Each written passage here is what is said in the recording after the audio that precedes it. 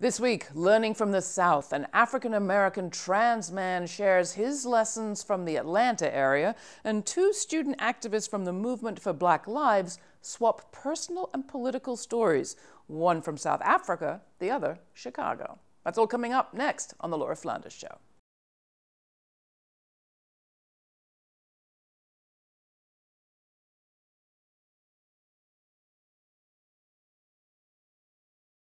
Well, so how do you like it? Lots of Americans awoke from the last election to get their first taste of non representative government.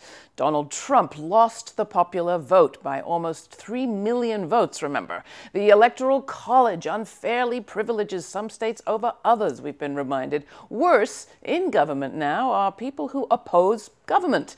And they're set on reversing regulations, rolling back the social functions of the state to the detriment of the poor and the benefit of the powerful, especially corporations. It's all propped up by brutality and a fervent populism.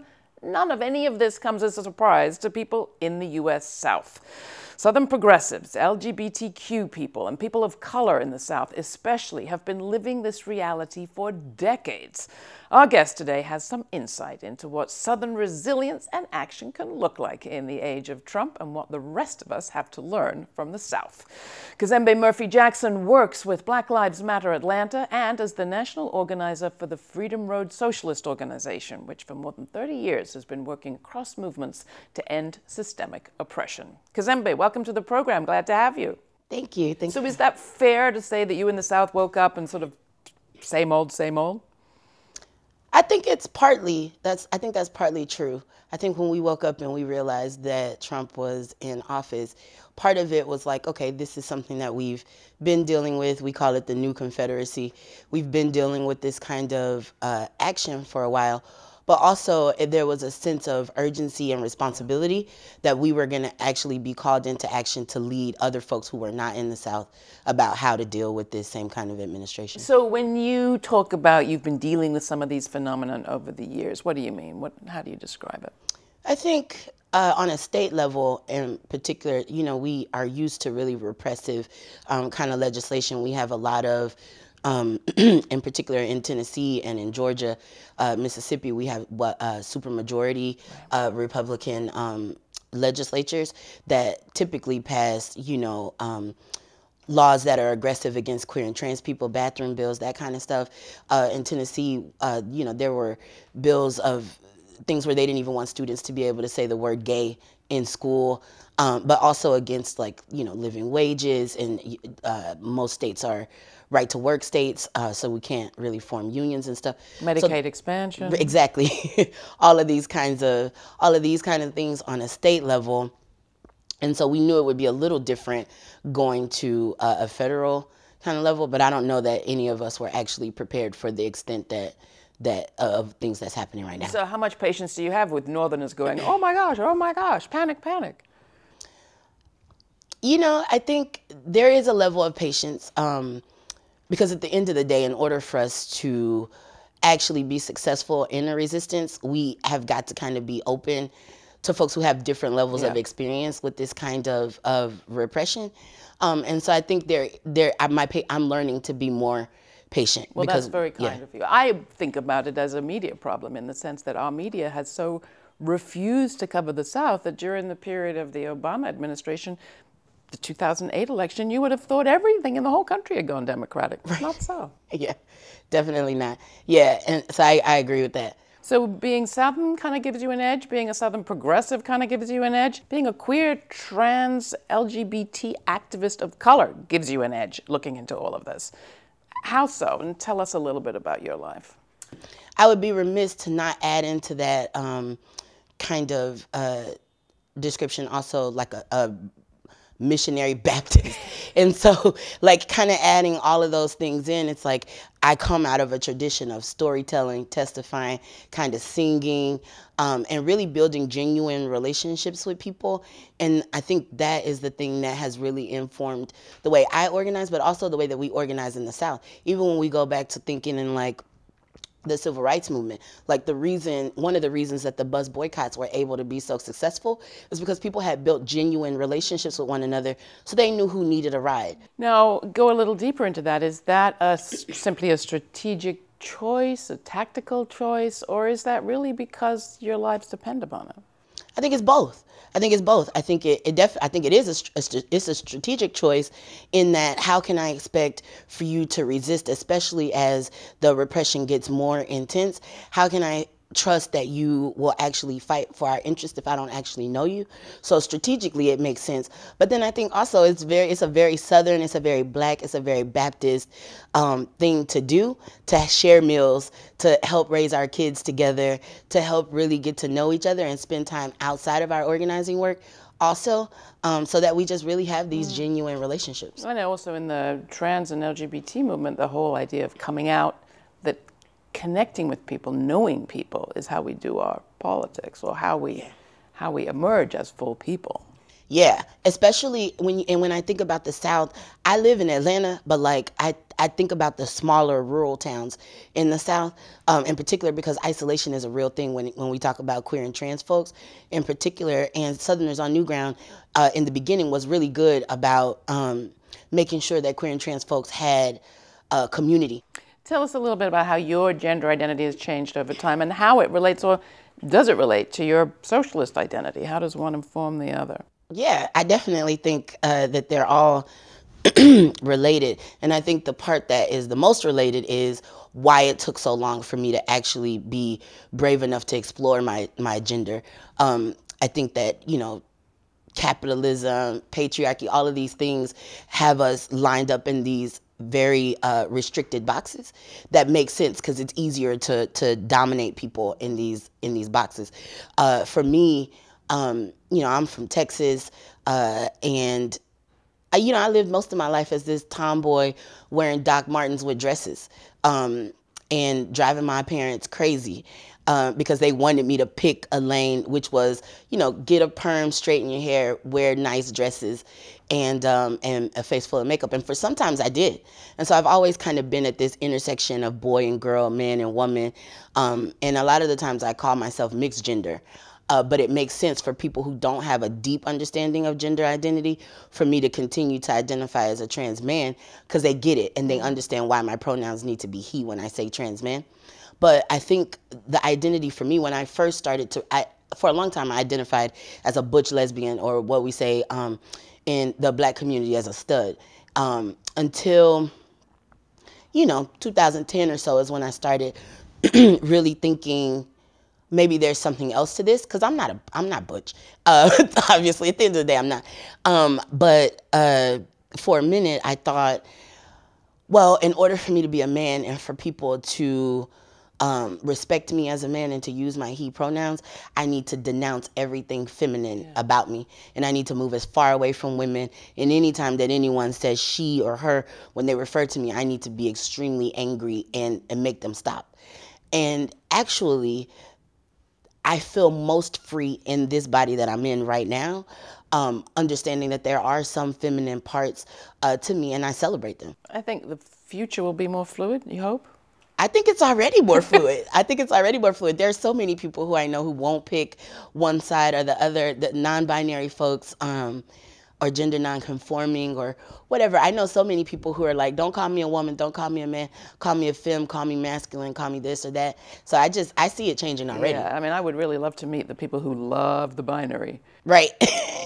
um, throughout their entire lifetimes. Exactly. It changes. All right, so the socialism, where did that come in and how does that relate? And tell us a little bit about the work that you're doing now. You've just come back from the UK. Sure. So I think socialism for me is about at the end of the day, I feel like I've I've had a hard life, but at this end of it, um, I am I have access to a whole lot of privilege, um, and you know I basically can eat and live and sleep and kind of move very freely. Um, you know, with the I'm still black and trans, but you know, obviously I can I can move a lot freely than a lot of other people, and so I feel like my fight for socialism and the thing that is important to me is I want everyone to have access to that. Now, a lot of people watching this, you know, don't have a lot of clear models of what socialism is, mm-hmm. um, and the models they have are models like Cuba or the Soviet Union, where I can hear them now saying, well, they were not nice to trans people, or it took mm. them a long time to get their head around uh, homophobia and the relationship between capitalism and, and homophobia. Mm-hmm. So, when you say socialism, what are you thinking of? What do you mean? And is there a state expression of that any place? Yeah, I don't think that I don't think that 21st socialism in the United States is going to look like anything that's been done already. Um, I think that when I when I really think of socialism, I'm thinking of it as kind of like a vehicle to something else that's more permanent. And so I see us doing the things that are alternate to to to like austerity. So like the idea for for us um, as Freedom Road and me even personally is more of we need folks and I think we do take these examples from Cuba and Venezuela and other places. We need folks to actually understand what political moment we're in.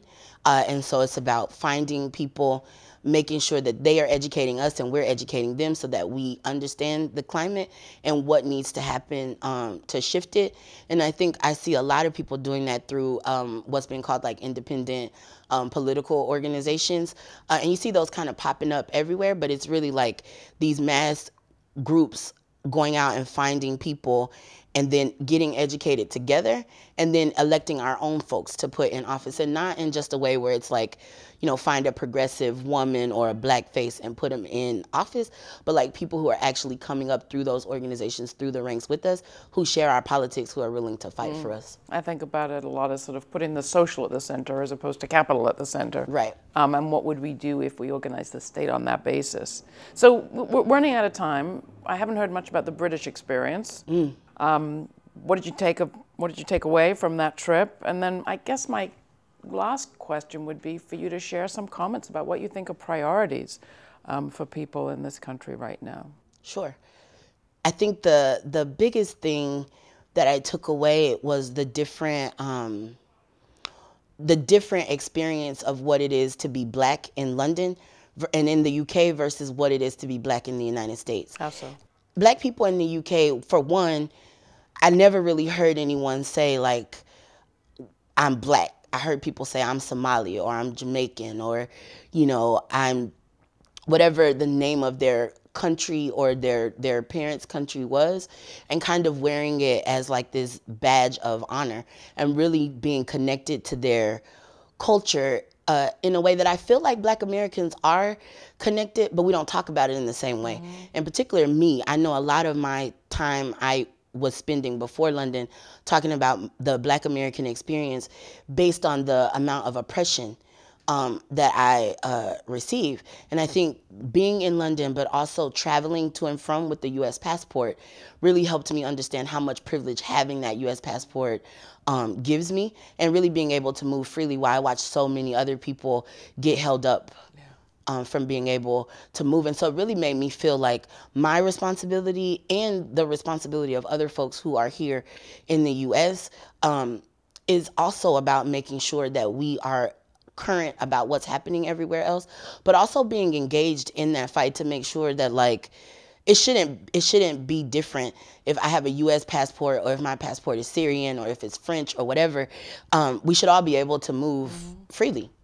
And what about the priority question, especially for people who perhaps aren't fortunate enough, enough to, to live in the kind of community that you've described or haven't made that for themselves yet?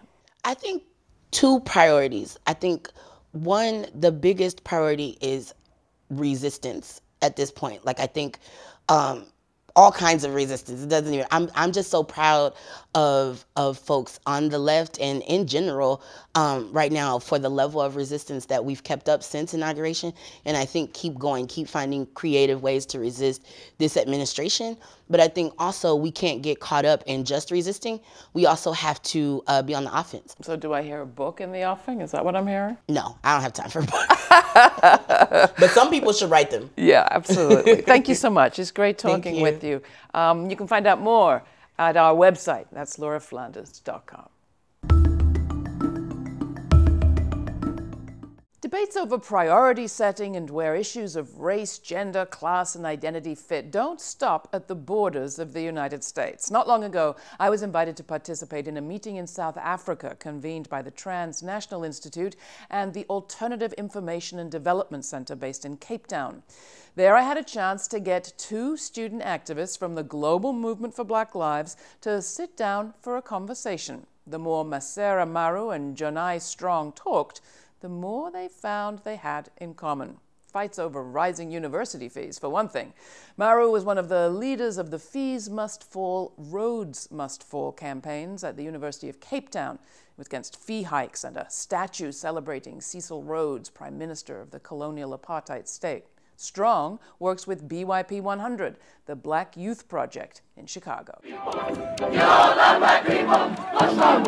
we want to go fundamentally, we're up against just the ability for black people, for marginalized, oppressed people to self determine. Basically, the right to be. Yeah. That's what I think mm-hmm. black people are fighting or being suppressed. Like, you know, the, the suppressions about and what they're fighting for is the right to to be. It's a very deep rooted fight mm-hmm. um, and a deep rooted oppression. I was involved in student activist spaces for the longest time, but um, mostly I think the height of my activism was during the Rhodes Must Fall movement. Black students rallied around the cause for decolonization at the university.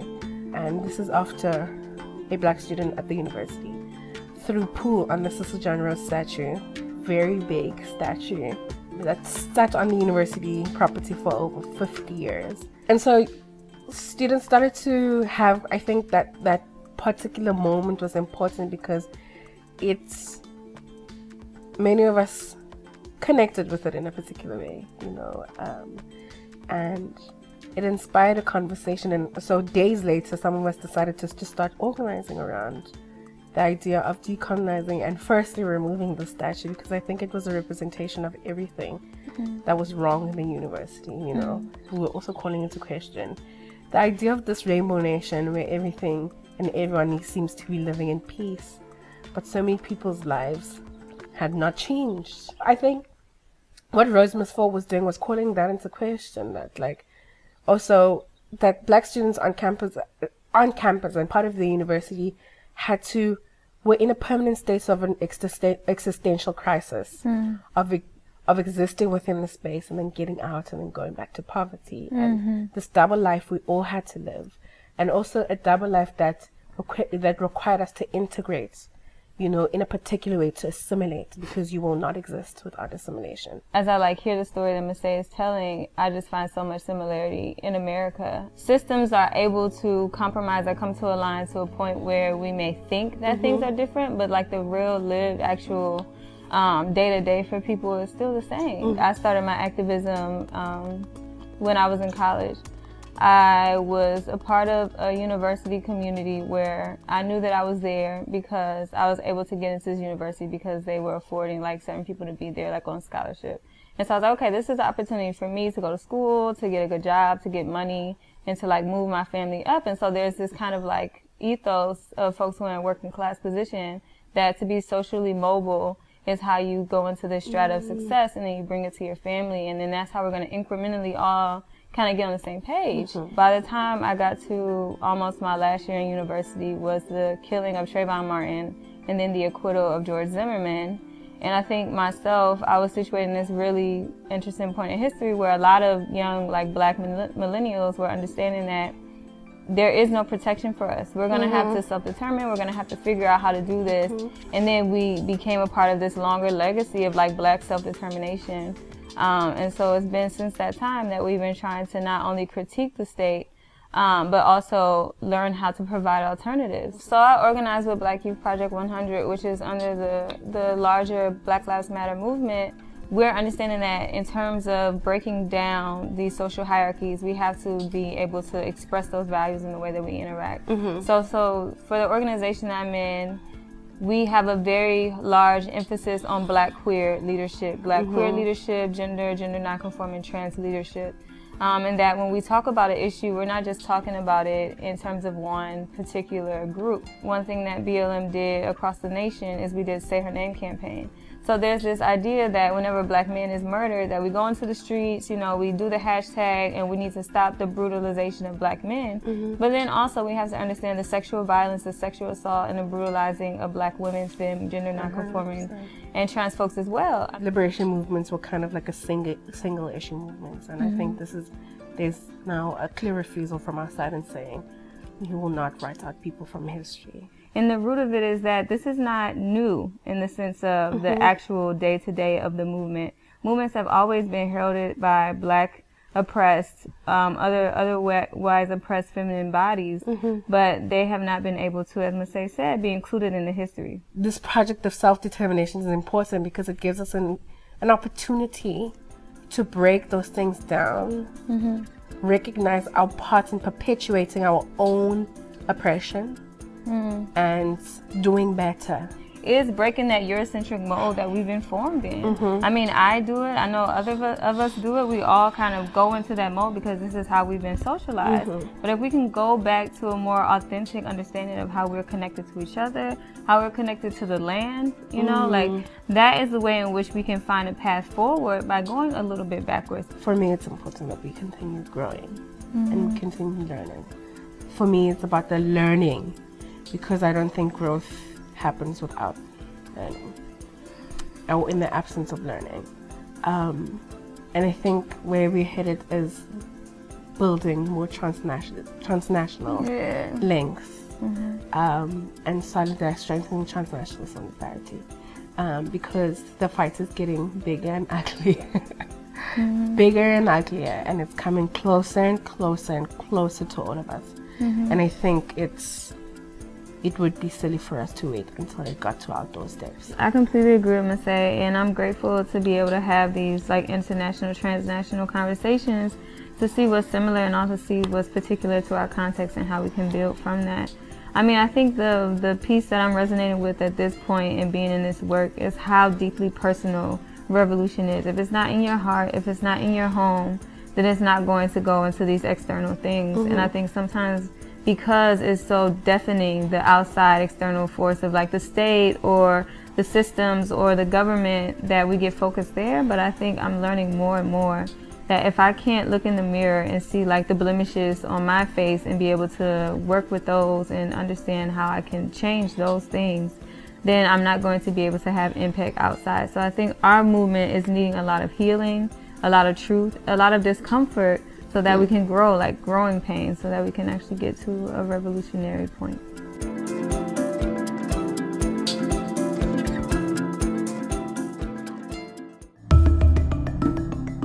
Pope Francis got into trouble last month when he compared European migrant and refugee camps to World War II concentration camps.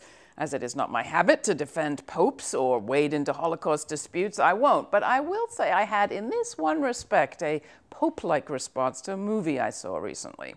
The Zookeeper's Wife, directed by New Zealander Niki Caro, depicts the real life couple Antonina and Jan Zabinski, who used their zoo to conceal an elaborate scheme that rescued hundreds of Jews from the Warsaw Ghetto and eventual extermination in Nazi death camps. Directed by a woman, adapted from a book by Diane Ackerman, The Zookeeper's Wife has gotten grief in some circles for sentimentality and for overemphasizing animal war victims at the expense of human ones. Personally, I appreciated the story of resistance. What I wanted to talk about, though, was the recognizability of that Warsaw Ghetto. As soon as the audience sees people in World War II clothing rounded up and herded into walled off buildings to live in subhuman conditions, we all know what's going on. Even without special effects or gazillion dollar budgets, we know the Warsaw Ghetto reflects a genocidal plan to exterminate a people. So, how do refugee camps read? And not just refugee camps. I was in the desperately poor suburb of a wealthy world city not long ago, where dark skinned residents lived in tin roof shacks packed behind a dividing fence at the side of a major highway, without running water or reliable electricity or effective garbage collection or real doors or windows. For lack of tolerable toilets, men and women and children broke through the fence to defecate in full view of high class commuters driving to the airport. I've seen similar scenes on just about every continent. So, how do those scenes read? Decades of movies have taught us that the Warsaw Ghetto reflects genocidal intentions on the part of the ghettoizers. Perhaps that's why World War II metaphors are perhaps overused. We know what they mean. So, what about the subhuman conditions we systematically herd whole populations into through war, segregation, expulsion, redlining, detention, incarceration. What do today's ghettos and camps and slums reflect intention wise, while some stack up unimaginable riches? Quote, one of the greatest dangers we face, Pope Francis wrote long before he became Pope, is a feeling of complacency, of becoming desensitized to the world around us. Last I heard, he was defending his comparison, and I stand with him. Write to me, tell me what you think. That's Laura, L A U R A, at lauraflanders.com. And find all our archives at our website. That's lauraflanders.com. I hope you'll subscribe and contribute. Become a member. Join us. And thanks.